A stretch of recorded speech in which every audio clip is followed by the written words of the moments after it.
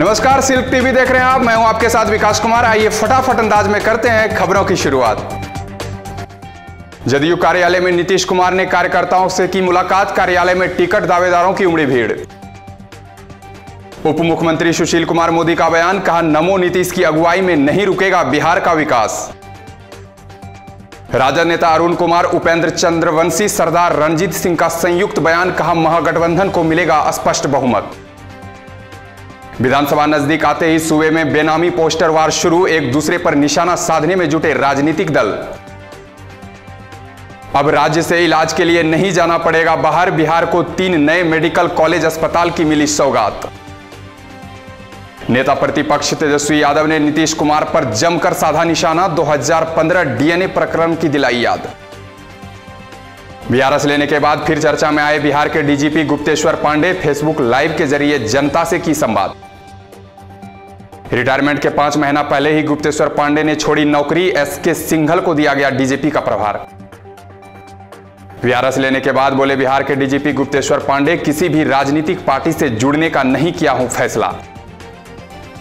उपसभापति हरिवंश प्रकरण पर गरमाई, सूबे की सियासत विपक्ष पर हमलावार हुए भाजपाई। अनलॉक फोर के तहत केंद्र सरकार ने दी गाइडलाइन, बिहार में 28 सितंबर से नौवीं और बारहवीं के खुलेंगे सरकारी और गैर सरकारी स्कूल। एक दिन में अधिकतम एक तिहाई बच्चे जाएँगे स्कूल, एक बच्चा हफ़्ते में दो दिन ही जा पाएँगे स्कूल। पहली से आठवीं कक्षा तक के सभी स्कूल रहेंगे बंद। 28 सितंबर से पहले स्कूल परिसर को कराया जाएगा सैनिटाइज। 27 सितंबर को होने वाली जेई एडवांस परीक्षा का एडमिट कार्ड जारी। आधिकारिक वेबसाइट से डाउनलोड कर सकेंगे एडमिट कार्ड। राज्य के 10 शहरों में शांतिपूर्ण संपन्न हुई बीएड की परीक्षा। 30 सितंबर को जारी होगा रिज़ल्ट। बीएड परीक्षा में प्रश्न पत्र देख हैरान हुए परीक्षार्थी, बिहार और दिल्ली के मुख्यमंत्री कौन है जैसे पूछे गए सवाल। कोसी नदी किस राज्य में है और उत्तर प्रदेश की राजधानी कहाँ है जैसे सवाल देकर परीक्षार्थी के उड़े होश। मामूली विवाद में युवक ने कुदाल से काटकर महिला की ली जान, सुपौल ज़िले के सिमरिया गाँव की है घटना। भागलपुर ट्रिपल आईटी को मिला राष्ट्रीय स्तर का दर्जा, रिसर्च करने वालों को मिलेगी विशेष सुविधा। भागलपुर मायागंज अस्पताल में कोरोना योद्धा ने किया प्लाज्मा डोनेट। शहर के कई सामाजिक संस्था भी मदद को बढ़ाया हाथ।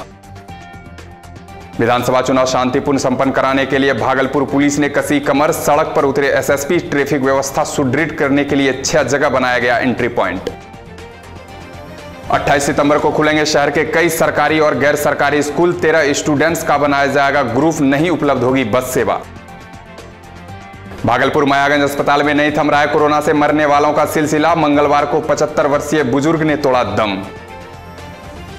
मायागंज अस्पताल में अब तक कोरोना से पंचानवे लोगों ने गवाई है। जान तो वहीं मंगलवार को कोविड सेंटर से दो लोगों को किया गया डिस्चार्ज।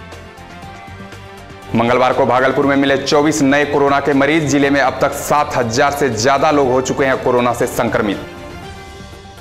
बहरहाल इस बुलेटिन में इतना ही। आप बने रहिए सिल्क टीवी के साथ। अपने आसपास की खबरों को देखने के लिए सिल्क टीवी को यूट्यूब पर सब्सक्राइब कीजिए और फेसबुक पर पेज को फॉलो ज़रूर करें।